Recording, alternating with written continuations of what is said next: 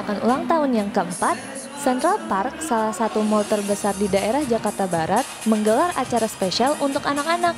Salah satunya adalah Kids Fashion Runway. Kostum yang digunakan gak sembarangan loh Sob Kids, yaitu hasil rancangan empat desainer baju anak terbaik. Sebut saja Sour, Petit Posh, Esmod, dan Sise. Temanya sendiri sebenarnya judulnya Euphoria.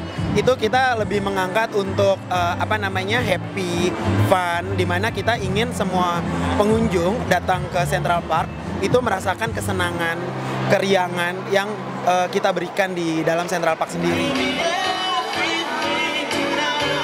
Bukan cuma fashion show, tapi para pengunjung juga dimanjakan dengan penampilan musik dari Cowboy Junior. Happy, happy birthday semua Central Park.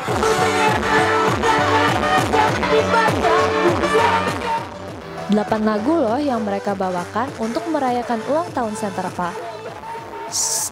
Sampai ada komet yang pingsan loh. Selamat ulang tahun untuk Central Park.